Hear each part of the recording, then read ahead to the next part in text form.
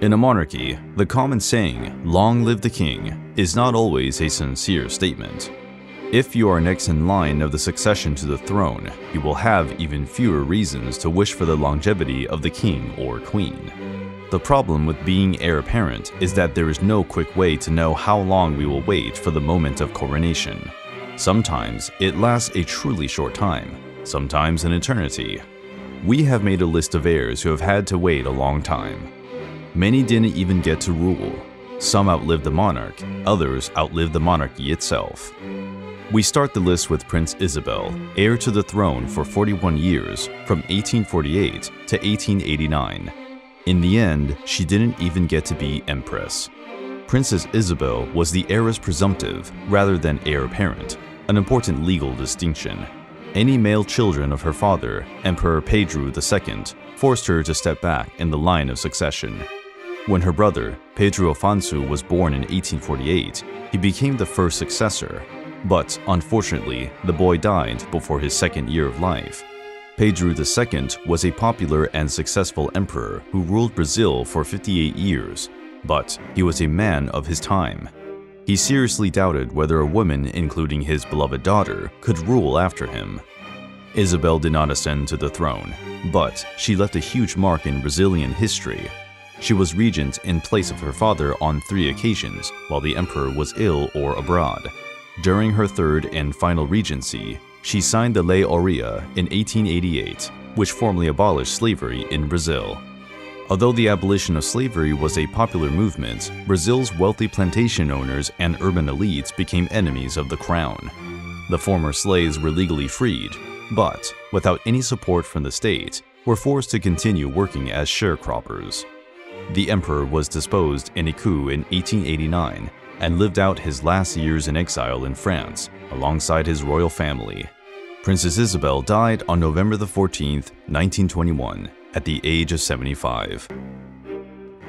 Christian, Crown Prince of Norway and Denmark, waited to ascend the throne for 44 and 39 years respectively. In the case of Norway, he waited from 1603 until 1647. In Denmark, he waited from 1608 to 1647. But why so long? Well, to date, Denmark has had 10 kings named Christian. The one who did not ascend to the throne was Christian, the prince-elect, who was supposed to rule as Christian V. When he was born in 1603, Denmark and Norway were ruled by the House of Oldenburg, but they had different laws of succession. Since Denmark was a nominally elective monarchy, Christian was not technically the heir apparent until 1603, despite being first in line of succession to the Norwegian crown since his birth. From an early age, the prince disappointed his father, also named Christian.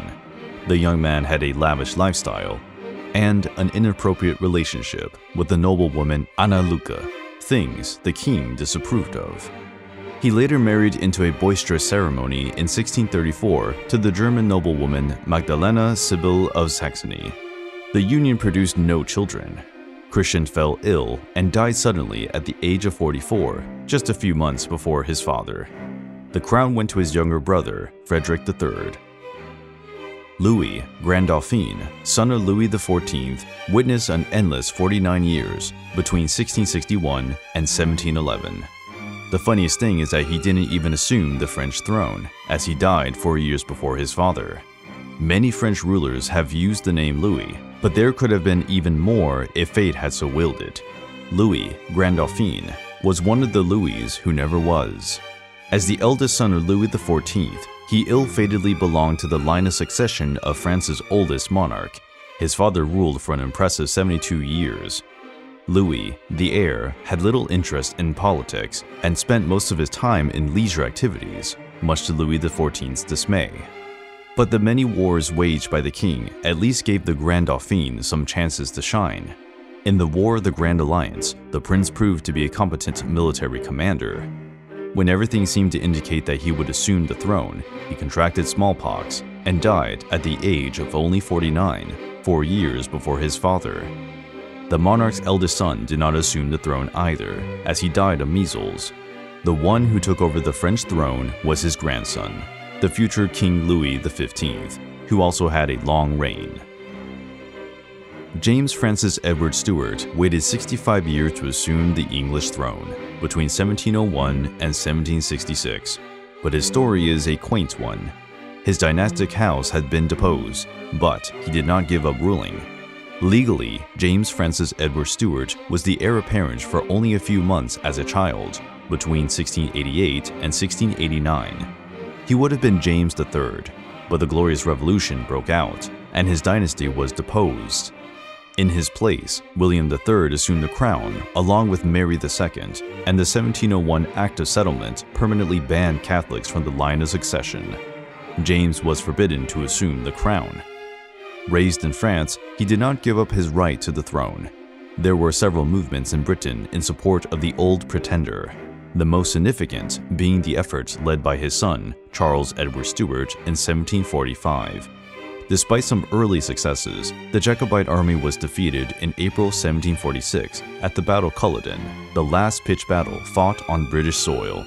James died in 1766 at the age of 77. The crown prince who waited the longest for the throne was Charles III of Great Britain. He had to wait a mere 70 years to ascend the throne between 1952 and September 2022. Until his ascension, Charles was the oldest heir in British history. He became first in line at the age of just three in 1952, when Queen Elizabeth II ascended the English throne. His mother's extraordinarily long reign forced Charles to spend his entire life waiting. But, as Prince of Wales, he had many things to fill his time with. Charles wrote and contributed to several books, learned to play different instruments, had experiences related to urban planning, and founded a successful organic food company. Today, already at retirement age, his real career has just begun.